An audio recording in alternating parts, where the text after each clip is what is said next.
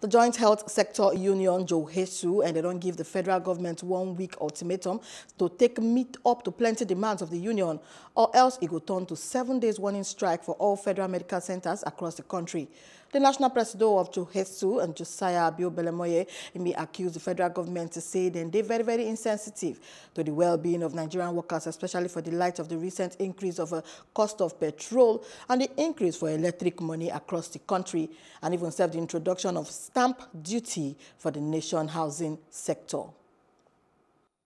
JOHESU condemns the insensitive deregulation of fuel price, fuel prices, the introduction of stamp duties,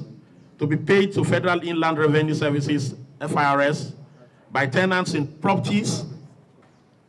and the hike in the electricity tariff, which all combine to bring further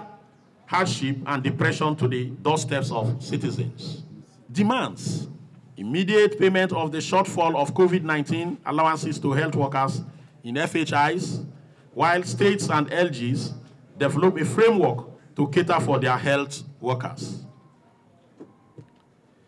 Unconditional payment of all withheld salaries at FMC Owerri, JUTH,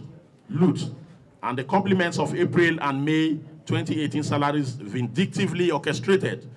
by Professor Isaac Adewole,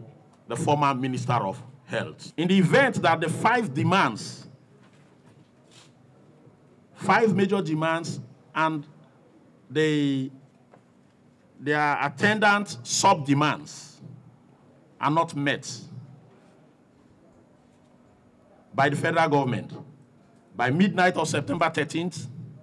2020, JOHESU will commence a nationwide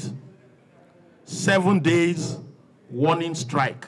of our members in all FHIs.